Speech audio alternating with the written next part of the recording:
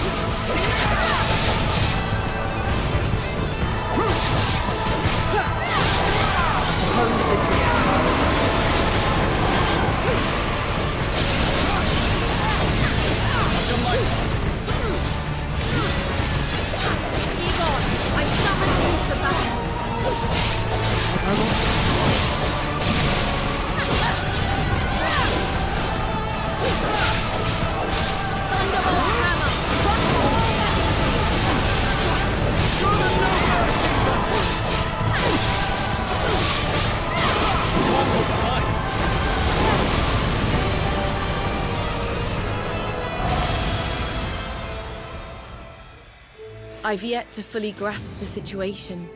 But what I do know is that you saved my people.